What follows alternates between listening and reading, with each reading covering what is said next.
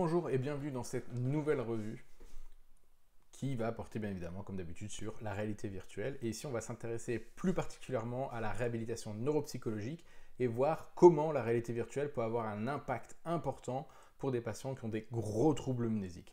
Donc ici on va partir sur un article qui date un peu mais qui est très très intéressant et très important. C'est un article de Brooks en 99 qui s'intitule Root Learning in a Case of Amnesia, a Preliminary Investigation into the Efficacy of Training in a Virtual Environment. Que va faire Brooks par rapport à son patient? C'est un patient qui a vraiment une amnésie assez forte, très difficile à, gérer. C'est quelqu'un qui ne sait pas du tout s'orienter, qui ne se retrouve pas dans euh, l'environnement dans lequel elle, est, donc dans, un, dans, une unité de réhabilitation. Et en fait, l'objectif, ça va tout simplement être de lui apprendre à gérer des trajets du quotidien. Donc, ce que vont faire euh, l'équipe de recherche, ou en tout cas l'équipe de cliniciens, c'est tout simplement, déjà, on mesure, on fait des lignes de base au niveau de, de, ses performances, savoir est-ce qu'elle n'a pas, est pas d'autres troubles au niveau visuel, au niveau moteur, euh, au niveau de la perception, sensorielle. Voilà, on va vraiment essayer de faire, euh, faire en sorte que tout va bien. C'est vraiment son amnésie qu'elle a du mal à enregistrer des nouvelles informations. Et du coup, ce qu'on va faire, c'est qu'on va la mettre dans un environnement par la suite qui va représenter l'hôpital. Alors, je vous mets ici juste euh, le logiciel qui a été utilisé, on n'oublie pas, on est en 99, on n'est pas encore sur des choses extrêmement...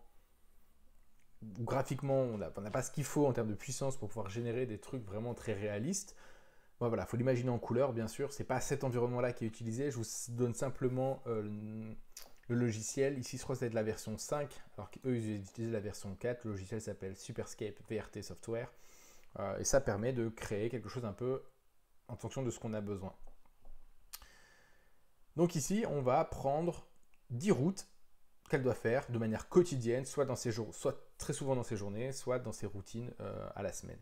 Aller de la salle de gym à son lit, donc dans l'hôpital, de son lit à la, salle d'ordinateur, pour aller voir aussi au niveau de la salle du repas, la salle de thé, le, psychologue, dans un sens, dans un autre, d'une pièce à une autre, etc. Ils vont vraiment la suivre pour voir comment elle se débrouille.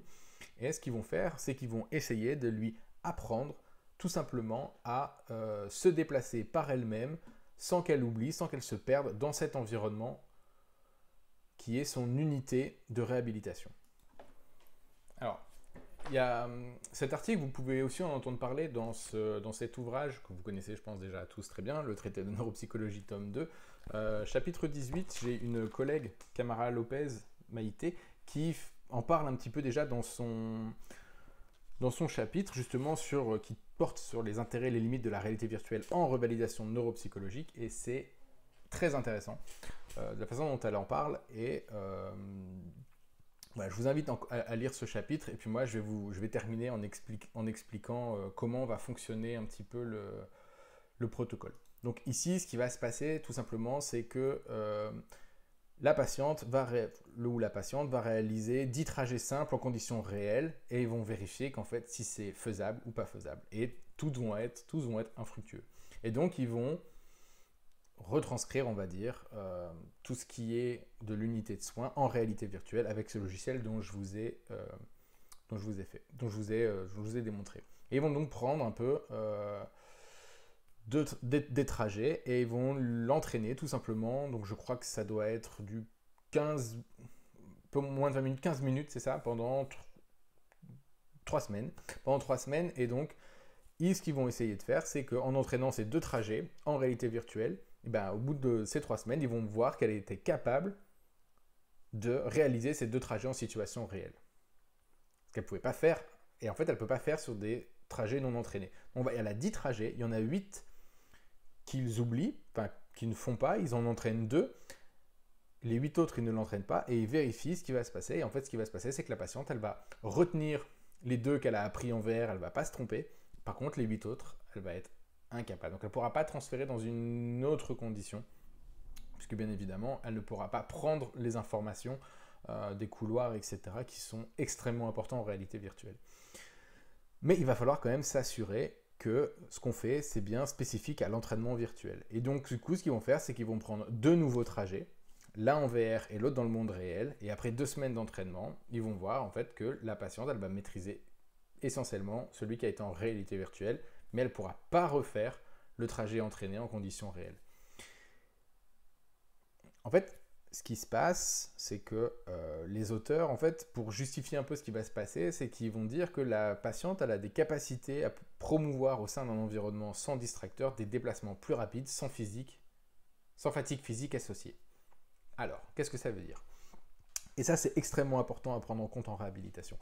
Lorsqu'on fait de la réhabilitation avec un patient, il y a un phénomène qu'on oublie assez souvent, c'est la fatigue physique et aussi la fatigue mentale.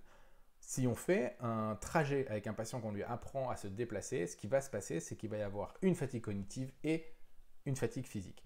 Si vous additionnez ces deux fatigues au moment d'apprendre quelque chose, il y a de fortes chances que votre patient ait plus de mal à retenir les informations. A l'inverse, si vous l'entraînez en réalité virtuelle, vous n'aurez qu'une fatigue cognitive et non une fatigue physique. Du coup, ce qui va se passer, c'est que vous allez pouvoir allouer plus de ressources à la mémorisation. Ça, c'est euh, ce, que, vont dire les auteurs. Il faudrait mesurer après si, avec un réentraînement physique, en augmentant ses capacités physiques, ça va jouer. Mais en tout cas, dans ce cas-là, ce qui est sûr et certain, c'est qu'en fait, on se rend compte que si on surcharge trop, parce qu'on est trop réaliste pour le patient, et eh ben en fait, on va oublier que ben, cette surcharge physique, elle va entraîner aussi une surcharge cognitive supplémentaire en plus dans sa séance, et que du coup, on va avoir moins de ressources allouées pour encoder, ou être beaucoup plus efficace dans son exercice. Donc, la réalité virtuelle, elle a vraiment cet intérêt-là, c'est de pouvoir faire des choses comme dans la vraie vie, sans avoir la fatigue physique. Ça, ça va être extrêmement intéressant, surtout pour des patients qui ont des scléroses en plaques, qui ont une fatigabilité fort importante, ou des patients avec un trauma crânien aussi, qui ont une forte fatigabilité. On va vraiment pouvoir répéter des sessions de déplacement, des sessions euh, qui pourraient demander beaucoup de ressources physiques, faire la cuisine, ranger une maison, etc. Mais ça, on va pouvoir allouer ces ressources euh, à, l'encodage, à la consolidation des informations, sans les allouer à un besoin de déplacement physique et un, effort supplémentaire. Voilà, donc c'est un article qui est très intéressant, qui date un petit peu. Je vais essayer de vous trouver une version un peu plus récente euh, pour euh, comparer un petit peu les résultats entre ce qui a été fait avant et ce qui a été fait maintenant. Mais en tout cas, sachez que c'est extrêmement intéressant, c'est de se poser aussi cette question sur, ok, je peux transférer, mais parfois, pourquoi je ne c'est plus difficile de faire monde réel à monde réel, alors que c'est semble beaucoup plus facile de faire monde virtuel à monde réel. Vous avez ici maintenant une réponse qui est tout à fait euh, légitime et tout à fait possible dans ce type d'environnement. Voilà, du coup, je vous dis à la semaine prochaine normalement pour la suite de ces fameux euh, revues de littérature, mais sur ce cas assez spécifique, la navigation spatiale et l'encodage, transfert euh, de d'un nouveau trajet par exemple. Voilà, au revoir